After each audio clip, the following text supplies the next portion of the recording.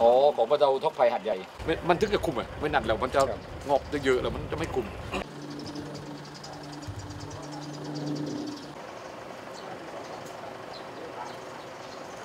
ทั้งหมดพื้นที่ตรงเนี้ยประมาณ 40 กว่าตารางกิโลเมตรนะครับน้ำที่จะไหลไหลลงมาในทางสงขลาสายเก่าอะครับปัจจุบันมีโรงงานอะไรนะโรงงานขายวัสดุ มาทำปิดช่องที่เราศึกษาไว้แ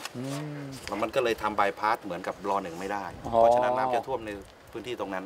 นะครับโครงการนี้ก็เลยยุติไปอ๋อเคลียร์กันทั้งระบบตรงเนี้ยนะแล้วก็เสนอบันทึกมาเลยว่างบที่จะต้องขอกรมครับเดี๋ยวจังหวัดก็จะทำเรื่องประสานไปให้ที่กรม ครับนะครับถึงจะสามารถที่จะเอาโครงการตรงนี้เข้ามาเสริมได้อืมครับทิ้นต้องต่อเข้าไปเองกับฐานตรงนี้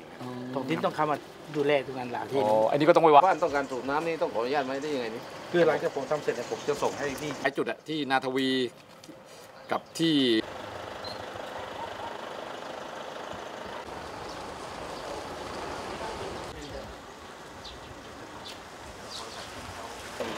การนายกคนนายกนามว่ามึงคนว่าจะเอาตกกันนะครับ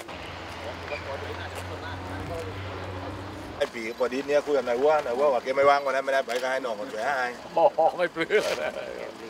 ไอ้ไอ้นี่มันจุได้เท่าไหร่ได้ นี่ตีตีตรงกระมินนกกับให้มาไล่ตัวนี่ถนนใช่ไหมอันหนึงตัวอันไม่อันไม่กำลังทำอยู่ใช่ไหมเดี๋ยวมันจะมันมีปัญหาในใหม่มันคือเราออกแบบให้เป็นตามคอนทัวร์ตามระดับครับเพราะแต่ละบ่อจะต่างกัน5เมตร ครับนะครับลักษณะยังได้ไม่ครบ ที่คนจงใช่ไหมฮะครับเดี๋ยวก่อนเราคุยกัน ครับผม มันได้จบมันต้อง